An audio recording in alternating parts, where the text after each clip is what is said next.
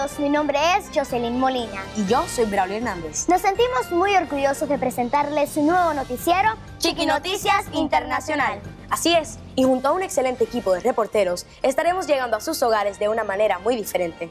Tendremos noticias nacionales, internacionales, deportivas y del mundo del espectáculo. Te esperamos este próximo 14 y 15 de febrero a las 10 de la mañana.